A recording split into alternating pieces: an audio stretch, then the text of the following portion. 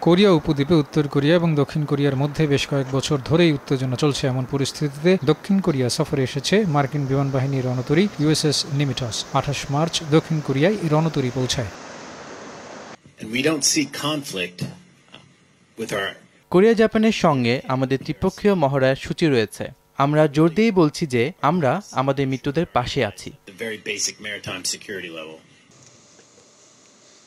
특히 한미 해군은 북한의 একের পর এক পরমাণু অস্ত্র এবং ক্ষেপণাস্ত্র পরীক্ষা চালিয়ে উত্তর কোরিয়া আমাদের হুমকির মধ্যে রেখেছে। যুক্তরাষ্ট্রের সঙ্গে যৌথভাবে মহড়া চালিয়ে আমরা আমাদের সমুদ্র সীমায় সক্ষমতা বাড়ানোর চেষ্টা করছি।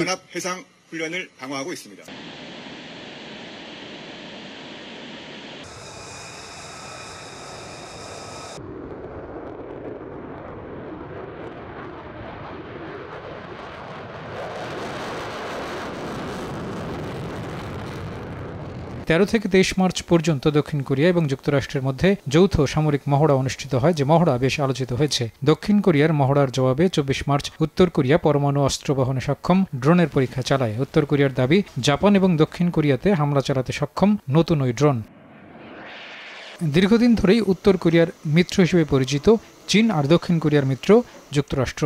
আঠাশ মার্চ, উত্তর কোরিয়ার নেতা কিম জং উন নতুন করে অস্ত্রের মজুদ বাড়ানোর ঘোষণা দিয়েছেন। একই দিন নতুন ক্ষেপণাস্ত্র পরীক্ষা চালিয়ে গণমাধ্যমে ছবি পাঠিয়েছেন তিনি। কাজী এমদাদ, দেশ টিভি।